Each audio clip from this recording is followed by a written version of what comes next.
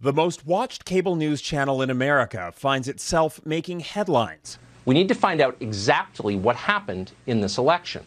After a week that revealed top stars at Fox News pushed lies about the 2020 election, even as they privately admitted what they were saying on air was false. We saw blatant election law violations in state after state. The revelations came as part of a $1.6 billion defamation suit against Fox News launched by Dominion Voting Systems. We talked about the Dominion software. I know that there were voting irregularities. Dominion was the target of extensive conspiracy theories about voting machines after Trump refused to concede the election. President Trump is zeroing in on Dominion voting machines.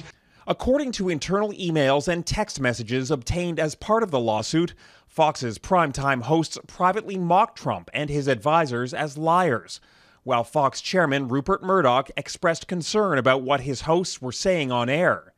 In one unearthed text message, primetime host Tucker Carlson said of former President Trump, I hate him passionately.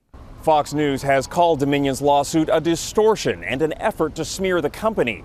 Yet, even away from the courts, Fox's continued attempts to prop up former President Donald Trump have caused serious harm to the network's reputation.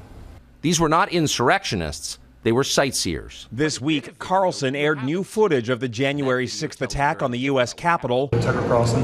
released to him by Republican Speaker of the House Kevin McCarthy. Thousands of hours of tape were selectively edited, an attempt to rewrite history. They're not destroying the Capitol, they obviously revere the Capitol. Even for Republicans, it was a bridge too far. I think it's bullshit.